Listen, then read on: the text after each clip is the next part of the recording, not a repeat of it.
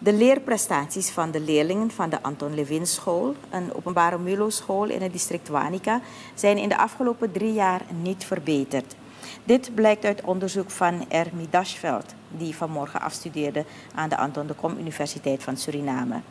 Ze verdedigde haar thesis met als titel De impact van metacognitie op het opbouwen van de lerarencapaciteit ter bevordering van de leerlingenprestatie.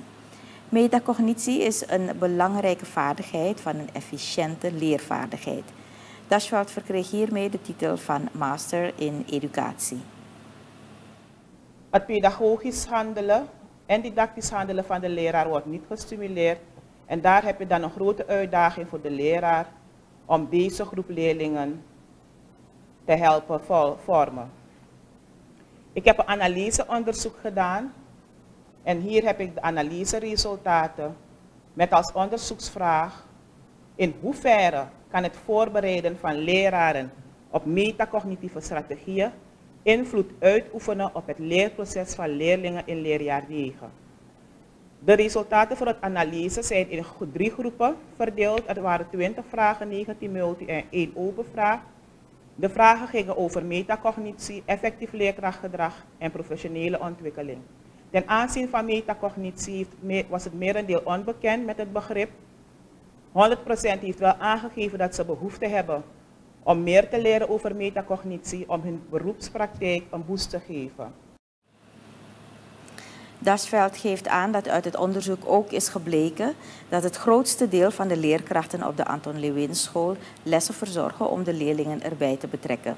Ze merkt op dat alle leraren op het onderwijsinstituut hebben aangegeven dat ze openstaan om meer te leren. Om het geconstateerde probleem in kaart te brengen, heb ik dan theorie verzameld over metacognitie. Metacognitie is niet, niets anders dan een effectieve manier om leerlingen bij de les te betrekken. Er is veel onderzoek gedaan over dit begrip bij metacognitie.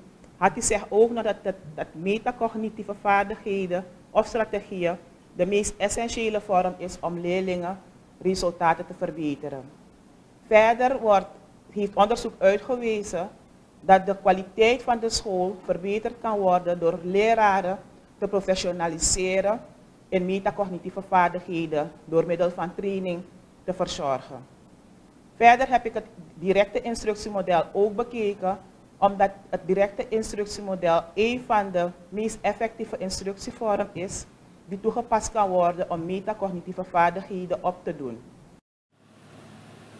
Volgens de vandaag afgestudeerde Dasveld heeft ze tijdens het onderzoek ook aandacht geschonken aan de verschillende factoren die het succesvol leren van leerlingen beïnvloeden.